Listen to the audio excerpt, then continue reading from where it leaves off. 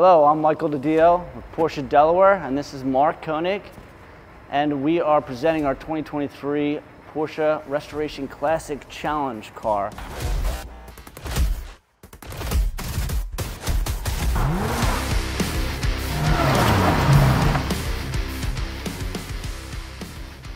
Uh, this is the first year that they actually broke it up into different categories.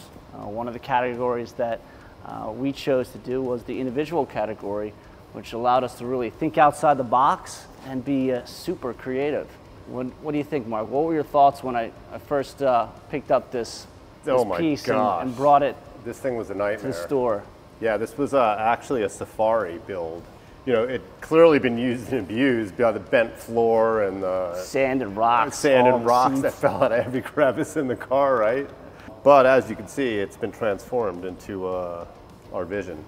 So it's a rock star piece, and you know, a little storyline about this this vehicle. We, picked it up last year.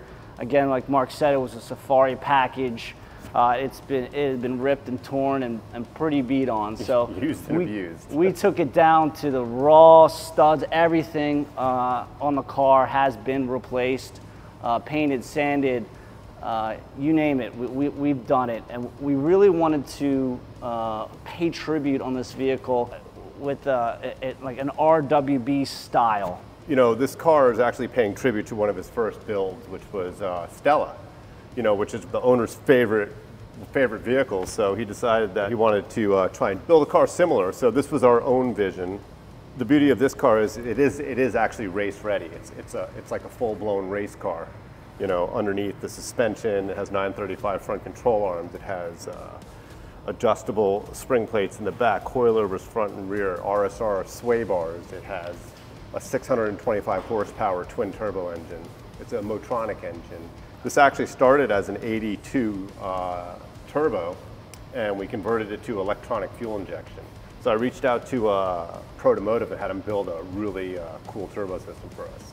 Marc has actually worked side by side uh, with Akira Nakai-san uh, who, who really creates art, art. drivable art. People reach out to him to, you know, come and customize their wide body kits onto their cars. And each car is just totally different because they're so artistic and has such a cool flair to them and backstory Agreed. to them. And unfortunately, um, you know, his backlog because of COVID and other things was so far out we couldn't get him to come and do it. Right, right. You we know, and then he could have authenticated the kit the interior is pretty cool too. It has a six-point roll cage.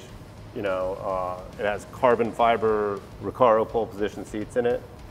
What else do you think, Marc, uh, when you were tuning the engine? I wanted to make it bulletproof, which is, you know, next to impossible, I guess, to do. But I, I, wanted to, you know, add all the best components I could. Since Porsche designed and built these engines, there's just so much out there to enhance and strengthen them up for uh, running a lot more boost than they intended we actually converted it to a 3.2 intake, you know, because the ports on the 3.2 are much bigger than the standard turbo. The standard turbo are very small. Mm -hmm. So we've actually opened the ports up. We twin plugged the engine and put a, a GT2 Evo cams in there. That's so it's fantastic. got a really aggressive cam in there and it's just awesome. Drivability is amazing though. I mean, a car starts up, drives around like a regular car. You wouldn't know it had 625 horsepower. And it's light too, as well. How, if you had to guess, how, how much do you think it weighs? Uh, I don't know. I, I maybe 2,800 pounds.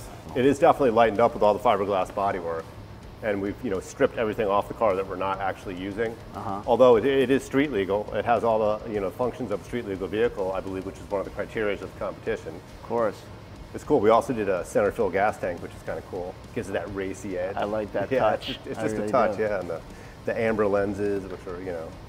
Well, we're excited to head out to Chicago and, and see everyone display this rock star of a car. Marc, you did a phenomenal job. Oh, thank you so much. I appreciate Just it. Just jaw dropping. I couldn't have done it without all the support I had. Car. So. And, and it's just, it's truly remarkable what Marc could do uh, with this vehicle. And we're excited to come out to Chicago and display our vehicle. Yeah. Look forward to seeing you. you